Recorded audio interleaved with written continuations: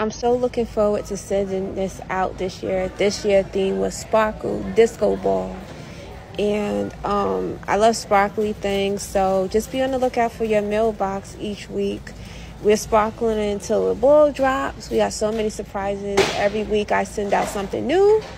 And I'm not telling you guys what you guys are getting this week, but these just came out and I look forward to seeing them.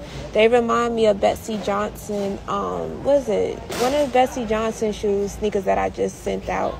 And she did boots by this design, but I like this one better. So we're gonna sparkle all the way until 2024 and 2023. Listen, I love you guys. I love my subscribers. So be on the lookout for good things.